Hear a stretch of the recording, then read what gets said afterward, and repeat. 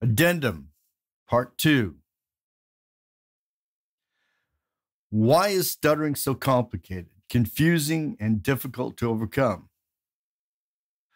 Why do 25% of those who start this program fail to put in the necessary intense time and effort required to make reasonable progress and succeed? After 26 years of doing this and observing myself and the thousands of members of the McGuire program, especially during our yearly evaluation time, which I recommend you read on our website, I've come up with six possible answers to these questions, some of which are obvious, but very hard to look at. Reason number one something you've heard me say several times Little three, four year old kids can do this thing called speaking so easily, as do roughly 95% of the world's population who don't have other speaking issues. Confusion happens to your listener when you, as an adult or teenager, especially an adult, who have made significant other achievements, can't do this simple skill. It's probably the primary thing that makes us targets for bullies to mock and otherwise disrespect us. Those trying to overcome stuttering, however, they choose to go about it, need to accept the fact that they need to learn to speak all over again, which is hard to accept because little kids do it. You're thinking, what? Who, me? I make a lot of money, live in a big house, drive a fancy car. Why do I, with all my education, abilities, and accomplishments, have to put intense time and effort to really try to do something that little kids do so easily? This, by the way, is called arrogance. Reason number two add to this phenomenon of the good day where probably because something very good has happened, you feel great and are blabbing away to friends like, well, a normal fluent speaker. And your listeners who know of your problem are thinking on the same level, wow, I knew he could do it. Then a few days later, when things aren't so great, the old phobia gets triggered. Here comes the panic reactions, FSDTA. And you can barely get a word out listeners thinking, hey, he was fine yesterday. Now I can barely understand a word he's saying, and he's all messed up. And at some level, you're thinking the same thing. More brutally, yesterday I was doing what little kids can do. Today I can't do what little kids do so easily. Reason number three for the resistance to really try.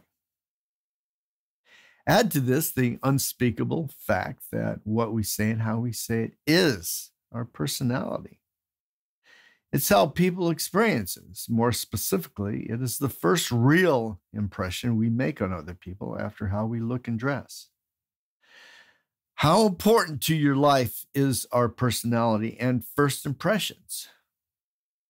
I'm one of those who think these things are critical to our existence as viable human beings trying to find happiness, security, and prosperity in this world. Like it or not, the spoken word is our connection to the human race. So we're talking about doing something that is so profoundly important to us that is so profoundly easy that little kids can do it without thinking, that sometimes we can do, but mostly we can't do. Let that sink in. Reason number four, then taking the, another look at our definition of stuttering. It's at the top of page 31 in the last written edition of Beyond Stuttering contemplate just how complicated this is.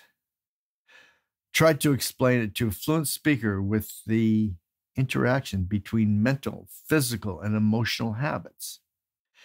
The physical malfunction of diaphragm, vocal cords, articulators, and especially the uh, emotional habits of shame, guilt, self hate, sense of isolation, low self esteem, fear going up, confidence going down, At some level, they're thinking confidence? Confidence for what? He needs confidence to do what a little three year old kid can do.